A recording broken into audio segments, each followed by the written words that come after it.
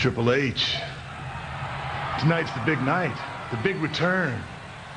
Man, the hype's been off the chart. The special videos, talking about the, mm, the long road back and the eight months of rehab. Hell, the mere mention of your name, the people, they go crazy. I'm sure you've been sitting back thinking, wow, man, they really respect me. Well, let me fill you in on something, Triple H. They don't respect you.